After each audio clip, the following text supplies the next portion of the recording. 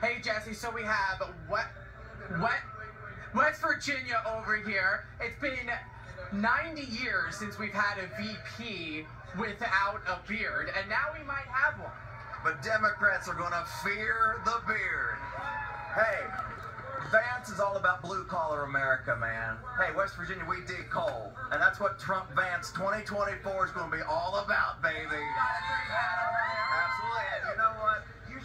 One yourself on behalf of West Virginia. I'm gonna need one because I work for Jesse Watters.